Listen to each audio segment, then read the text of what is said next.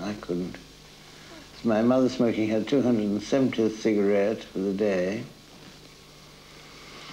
And how, There's how my did, sister, who is the scourge of the unwary.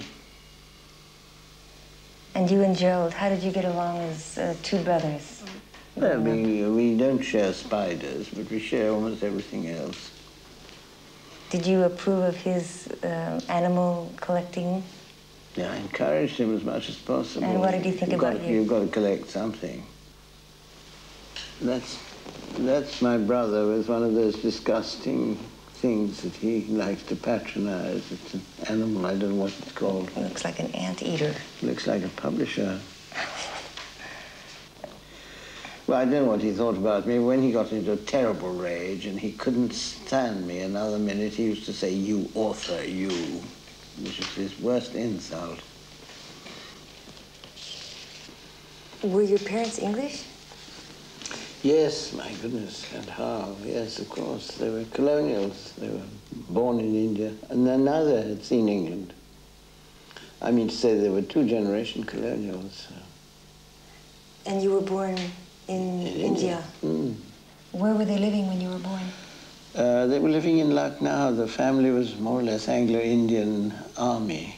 And uh, then my father, who was not very gifted, not very clever, um, became an engineer and started building the railways uh, in India and built some of the long ones, some of the big ones, uh, made a career out of it. Became quite rich and sent me to England for my sins. Was your mother, um, did your mother go along with that? She was half Irish. She had an Irish connection on her side, which always gives, you see. You can see temperament, mm-hmm. sensibility, and instability. It's the Irish gift.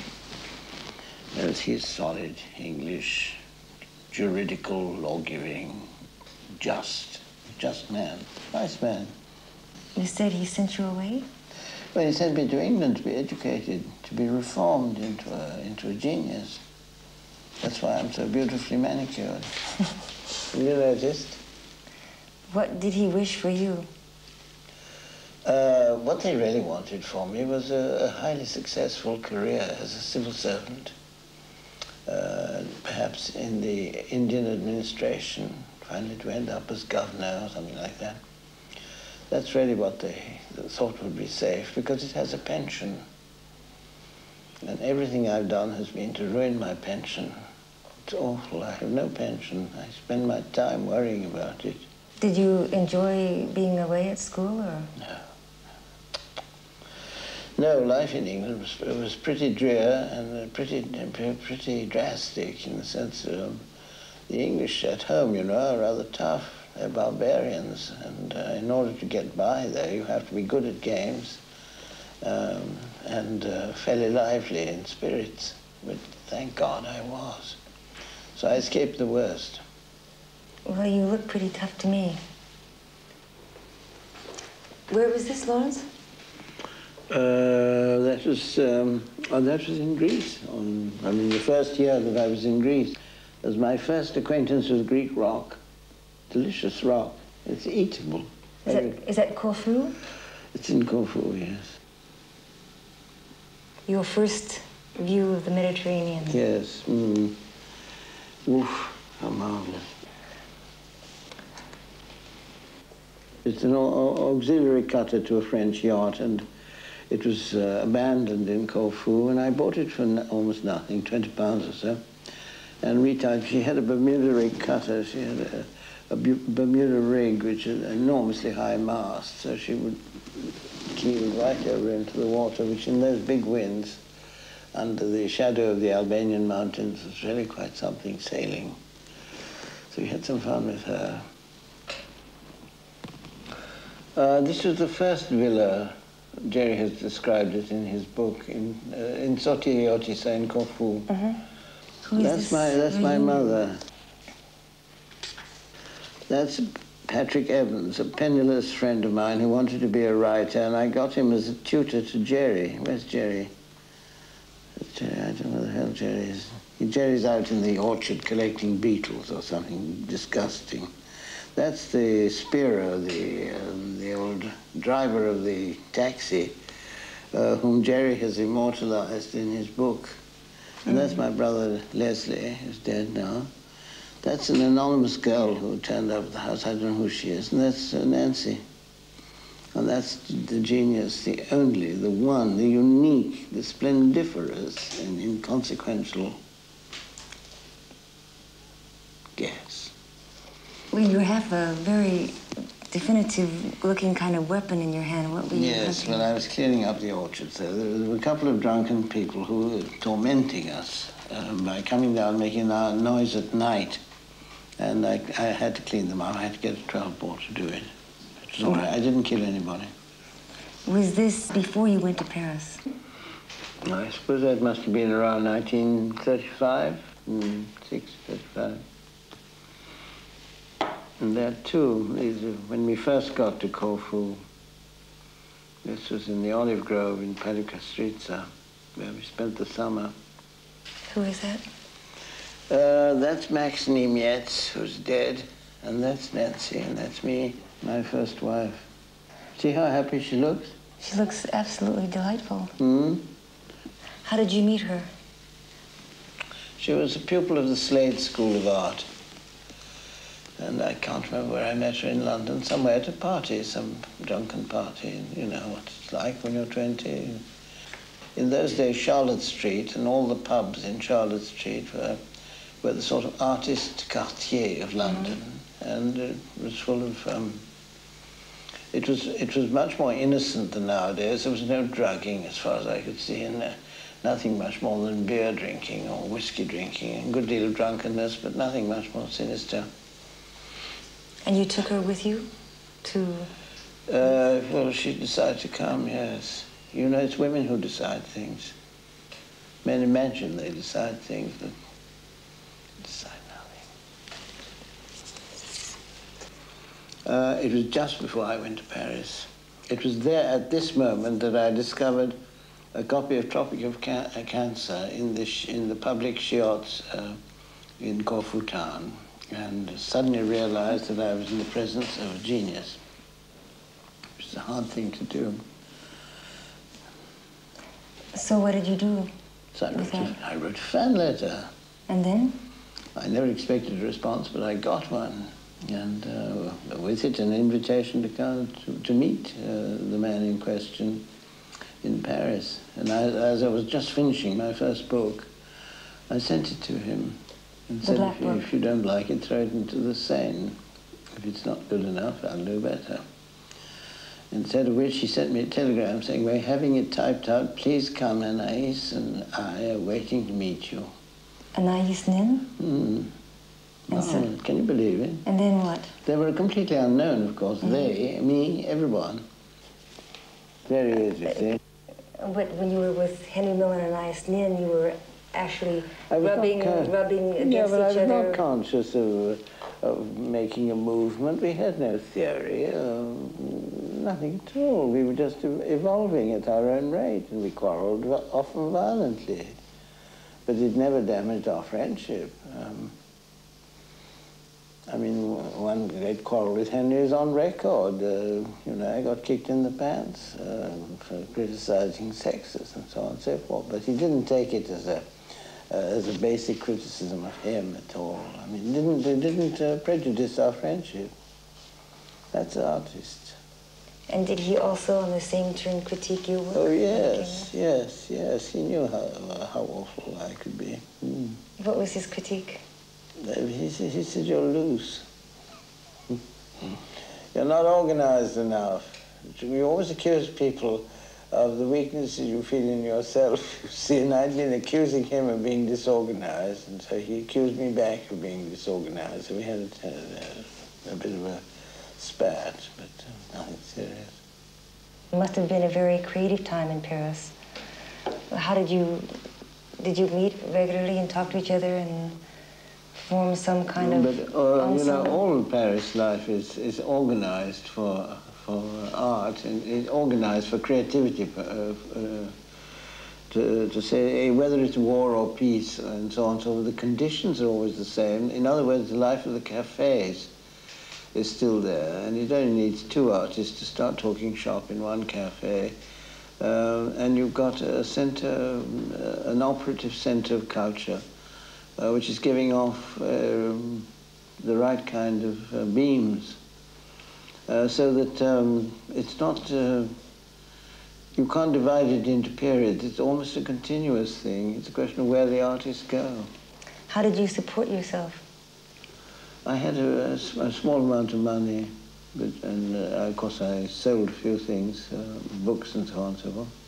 But it was pretty exiguous, and I, I was pretty broke. And then, after Paris and that whole time? Uh, well, then, then we went back, you see, because war was threatening, and I didn't want to get caught, thank God, in Paris. I preferred to get caught in Greece, where the the frontiers were, were more open and one could um, operate more freely. I didn't know quite whether I was going to the army or the air force or what I was going to do. And then finally, languages and circumstances in politics uh, gave me a job in, uh, in a civil capacity. What was your first position? Well, in the embassy, I was a translator. And here you are looking very, very beautiful. Well, now that's that's Penelope. You wouldn't believe it looking at her now, but uh, that's that, that, that's how she looks. See how self-satisfied women are. Right from the very beginning, they look absolutely self-satisfied.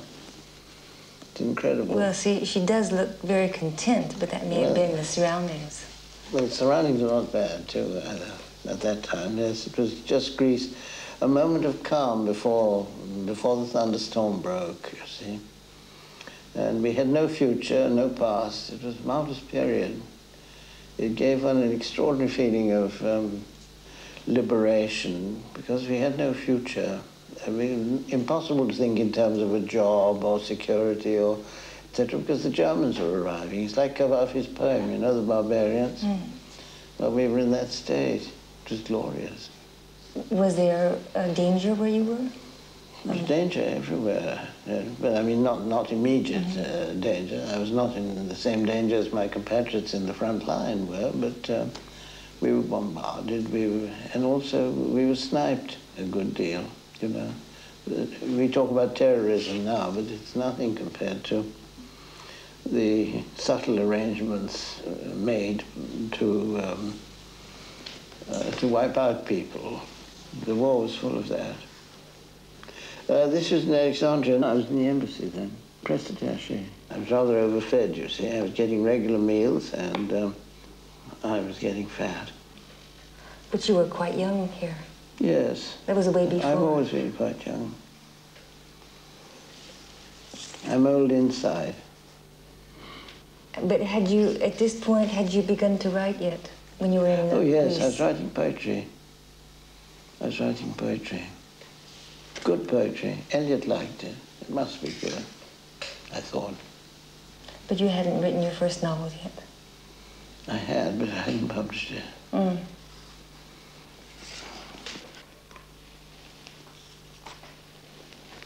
Oh, that's Eve. She's extremely beautiful and yes, very uh, striking woman. Dramatic, yes. Lovely, lovely, graphic beauty. Uh, and uh, very unhappy. She was a stateless Egyptian national. She was Jewish. Um, she had no Egyptian nationality, and they were living on sufferance there. Uh, and br brilliantly gifted. Uh, like a good Jew, her father uh, decided she must be educated, even though she was a girl. He sent her to the Scots school. She learned excellent English. He sent her to the Lycée Français. She learned admirable French and he sent her to the Italian lycée, so she had three languages. Apart from that, she had Greek and she had Arabic. She had a, a bouquet of uh, five languages, you see. Marvelous equipment. Uh, wasn't but it? no possibility of operating in the world because she had no nationality. So I was, uh, I was enchanted by her. She came selling advertising into my office, uh, and I decided she was going to make a marvelous wife, you see. And I had to cross swords with the Grand Rabbi of Cairo about that. We had a terrible struggle. He didn't want that at all. I was polluting the bloodstream of Egypt. However, we did it. I kidnapped her with her consent, of course. Uh, I kidnapped her and sent her away to the Delta, and I went to see her father. And I said, if this goes on, there's going to be real trouble. Um, uh, uh, I shall absolutely insist on this state of affairs because she wants it that way. And uh, so the father gave in, the rabbi gave in, and um, uh, I took her to Rhodes with me as an assistant, and then at the end of that period, we got married. Was it through her eyes then, as your second wife, that you saw Alexandria? Did she? Mm. She was the spirit of Alexandria in a sense. She was a sort of nymph, a Roman nymph of Alexandria. And of course, with all the languages and all the cultures all jumbled into a piece, uh, she was a marvelous interpreter of the whole Egyptian scene. What was she was the brilliantly scene like? sensitive. Well, all uh, it, it, was uh, grouped in. Uh, uh, well, uh, just for, for example, there were three fleets in the harbour, which normally there were. There was the French fleet, which was a fascist fleet, uh, which was locked up. We had to take their breech blocks away, and we got quite a number of people killed doing that. Um, uh, to immobilize the French fleet was one effort, and then the Greek fleet mutinied uh, and started blowing up the harbour, and we had to immobilize them. And at the same time, of course, uh, we were supposed to have a mobile fleet of our own to look after the Middle East in general. So it was a, a period of intense strain and intense precariousness um, when one didn't know from day to day what, what could possibly happen. Then how did you get from here to Belgrade? Well, fr from there, I, I, successively, my jobs took me that way. Uh, um, to Rhodes, back, back to Greece, to Rhodes, etc. And then Belgrade came up as a new project because suddenly Tito mutinied and decided to break away from Stalin. And this was uh, something they wanted to exploit if possible. Um, and the embassy had been lying uh, empty for some years uh, before, and uh, they suddenly sent in a new team and uh, among them they, they chose me as attaché de, de presse. Well, there we were visited by the Foreign Secretary, Anthony Eden, uh, who wanted to make uh, kind of grandiose gestures in the hope of prizing the Yugoslav government away from Russian influence. So he gave several press conferences while he was there, and of course, as his press officer, I had to mastermind them, organize them, arrange the questions and the answers, and, and so on and so forth, and see what the press got. And the radio stations. It's exacting work and very tedious and tiresome work.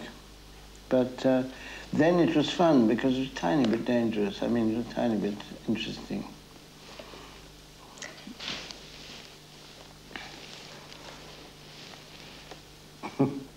this car, there, there, there were I think, four or five that the Germans gave to the Yugoslavs as presents, but they were Horches, and they do eight miles to the gallon. Uh, so it was not hardly possible to carry enough petrol to go anywhere at all in the damn thing. And in Belgrade, you have a daughter, no? Yes, well, Saf, that's Brassai's portrait of Saf. And she's fascinating, pretty child.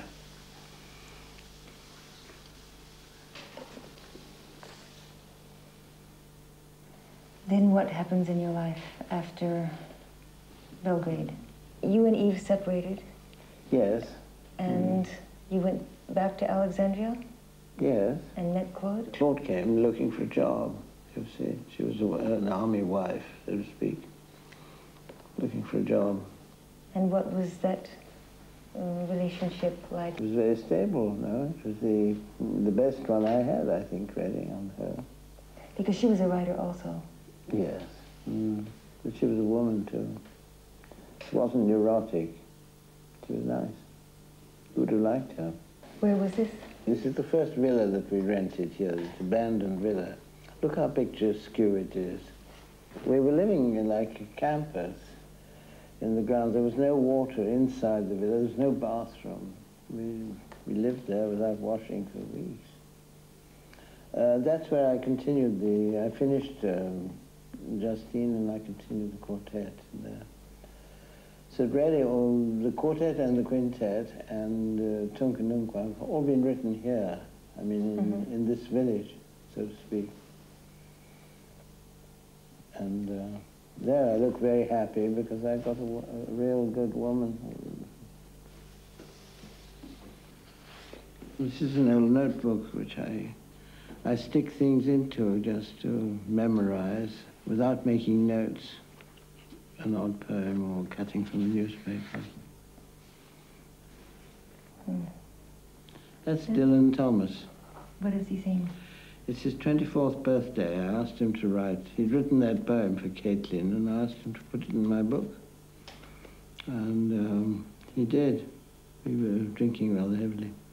Can you read it? I 24 years remind me tears of my eyes. Mm. It's a famous poem. I mean, it's one of the anthology pieces. 24 years. I advance for as long as forever is. Mm-hmm. Good.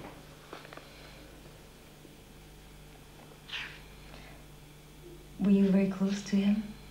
Uh, not really. I mean, I was in a very good acquaintance uh, with Dylan. I mean, I wasn't a very intimate friend of his, but a, a, very good working companion of his and a great admirer. Yes, I, I, I could claim to be a close friend of his, yes. He always is very exuberant. Yes, marvelous. Like Ludo. Mm.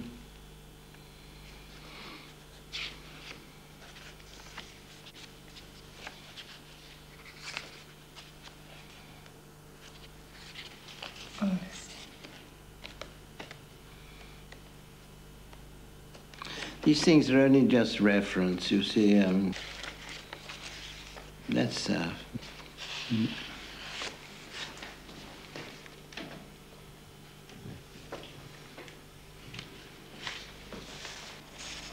Hmm. They were. That's life. What's life?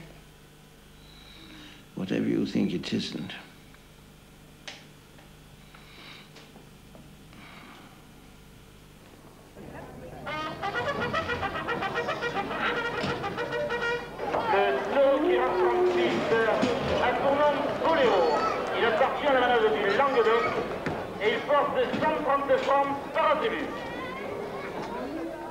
May 22nd. We drive out to the countryside to a bullfight in Cavaillon.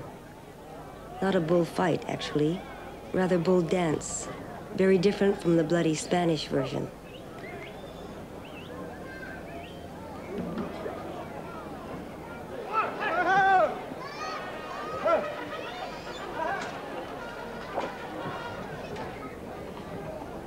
Lawrence says this bull dance comes from Crete and might well have been a Stone Age game where the young men of the tribe tested their strength.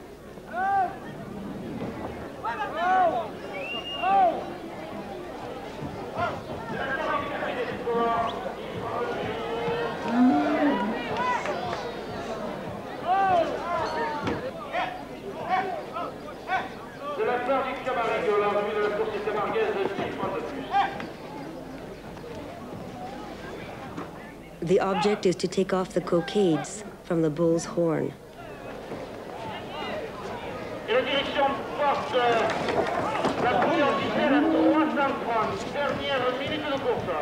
The prize money goes up as it becomes more and more dangerous. De la part de Pierrot Mariéjol et ses amis de Craponne, 10 francs de plus. À la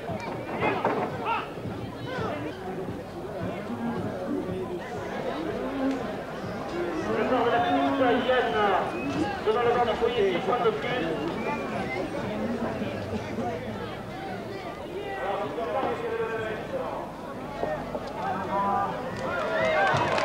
De la part du club Super avec Clara, 7 et 10 points de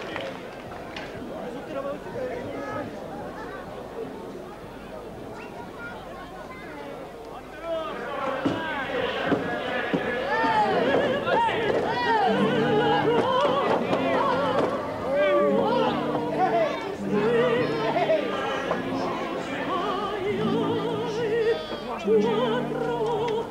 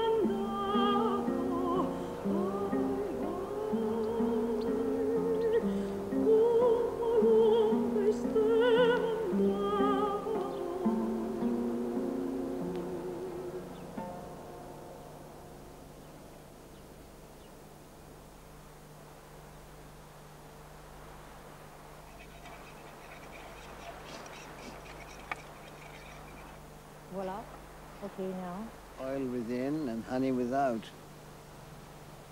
And that's really the secret of Provence, isn't it? The honey and the oil are the two basic, uh, basic poems of the place. Really. What is your secret? My secret is just shutting up and letting people talk. What is your secret? Look, there's Pic Saint Loup. What do you mean your life is a failure? Your artistic life is a failure. Well, I mean, uh, it doesn't seem to me that um, I've pulled off a sufficiently large trick. But uh, you never know. It may be that I'm not conscious of my marvelousness. It's very difficult Or what do you think the role of an artist is anyway? to be uh, to to revolve in a cycle of masterpieces, as Oscar Wilde says. It's not possible. Well, The um, role of an artist is to exude olive oil, and garlic, and um, the nudge, a basic nudge.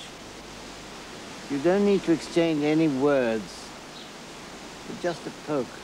so to poke, to cause uh, To nudge, to cause an inkling, to cause a wiggle. an inkling or an automatic wiggle, No, not an automatic wiggle, a special wiggle, an authentic wiggle. an authentic That's what you. That's Westminster Abbey. Hmm. Yes. Don't you agree that that's the best epitaph one could hope for? Authentic wiggle, two and No, six. I definitely think that's a good one. Hmm. That was pretty sage. But I, I never Aren't did. you, do you want to cut some bread? Here, you want to take it No, it's and all it? yeah. Okay.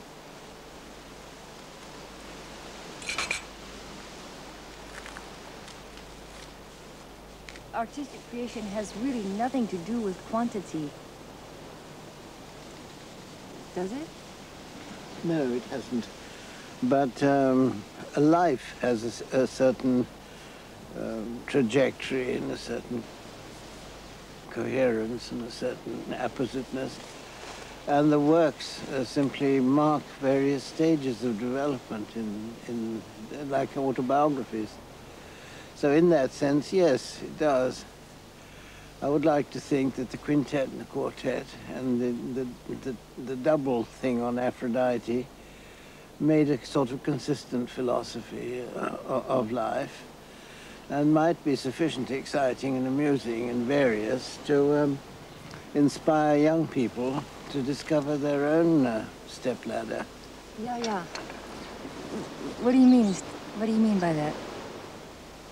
What do you mean? What do you mean discover their own step ladder? I mean, disco- discover, uh, you, you, you don't just evolve automatically. There's a, there's a certain act involved, and there's a certain attitude involved, and a certain experience Often it's a nervous breakdown or something, um, or a disaster or something or other, but it's a shift. It's a shift of vision on reality, uh, which suddenly confirms you in a path which you never suspected existed before.